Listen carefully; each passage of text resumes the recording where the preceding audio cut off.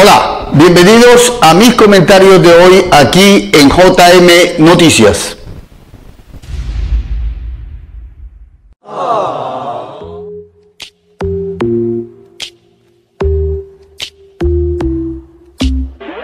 Mi primer tema. El tema, mi primer tema de hoy tiene que ver con el paro de los taxistas en todo el país. La industria de los taxis, como ellos denominan válidamente, y con un paro muy válido, lleno de muchas razones, porque son varios los años que vienen ellos exigiéndole al gobierno nacional que se meta en cintura, que se le ponga control a las aplicaciones o las plataformas que hoy prestan servicio de taxi individual mediante vehículos particulares. Pues ese es el principal tema. También el otro tema tiene que ver con las sanciones y el otro tema principal de esta protesta nacional es lo que corresponde al precio del galón de gasolina. En todo el país se están armando unos puntos de concentración en cada una de las ciudades. Pero hay un caso curioso que ha generado polémica aquí en Valledupar. Valledupar, una ciudad pequeña que tiene la figura de un embudo y que no tiene suficientes calles, resulta que el comité de paro de los taxistas en la ciudad ha dispuesto de 11 puntos de concentración. Oigan bien, 11 puntos de concentración. Bogotá, la capital, que comparando en área la ciudad de Valledupar, ¿cuántas veces cabe en la ciudad de Bogotá? En Bogotá apenas hay 9 puntos de concentración. En Medellín, 6 puntos de concentración. En Santa Marta, 6 puntos de concentración. En Barranquilla, 6 puntos de concentración. En Cali, 6 puntos de concentración y no todo el gremio de taxistas está de acuerdo con el paro. En Cartagena hay división y parece que no va a haber paro de taxis en la heroica. Pero en Valledupar ellos han dispuesto de señalar 11 puntos de concentración.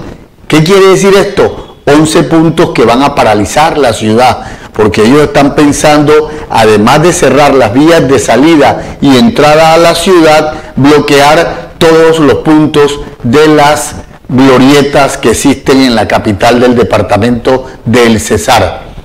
Nuevamente le hacemos el llamado al comité de paro aquí en Valledupar, que reflexionen, que miren la situación. Tienen derecho a la protesta, pero esos puntos de concentración son exagerados. Con todo respeto, con todo cariño, son exagerados, señores conductores de taxis. Esperemos a ver porque hoy se hizo una reunión en horas de la mañana entre la administración municipal y los propietarios de las empresas de taxi de la ciudad. Para las 3 de la tarde del día de hoy hay otra reunión. Estamos atentos al resultado de esa reunión para que reconsideren. Nuevamente insistimos, señores del comité de paro, bájenle, bájenle. Están en todo el derecho a reclamar. Bájenle al número de concentraciones. Miren la proporción. Es la única ciudad del país donde se han determinado 11 puntos de concentración, o mejor, 11 puntos de bloqueo para, para, para paralizar totalmente la ciudad. Dos. Mi segundo tema tiene que ver con una disputa que se está dando por un área de sesión en el sector del barrio Chiriquí. Hay un señor de nombre Jafet que dice que él hace 15 años está allí ubicado en un área de una hectárea y un cuarto. Área que dice él ocupó, invadió, construyó una casa donde siembra, donde produce carbón vegetal para la venta y donde vive con su familia. Pues resulta que la presidenta de la Junta de Acción Comunal del barrio Chiriquí está diciendo que él tiene que devolver eso. ya hay un proceso en tal sentido. Ya fuimos a averiguar a planeación nacional y nos dijeron, efectivamente, en esa zona de Valledupar no hay una, sola, no solo está este área que hoy genera una disputa y que ha llevado a confrontaciones fuera de tono, alzadas de tono, que incluso han rayado de improperios, palabras amenazantes y actos de agresión. Esa área es área de sesión, igual que otra área. Necesitamos que ahora la administración municipal se pronuncie por el tema y a la señora Mayerly Camelo decirle sencillamente deje que actúen las autoridades, cójala con calma, evite las confrontaciones para que después no tengamos que estar narrando hechos que lamentar. Pero sí le llamamos la atención a la administración municipal para que de una vez por todas se ponga orden, como dice el eslogan del alcalde, en lo que corresponde a las áreas de sesión de la ciudad. 3.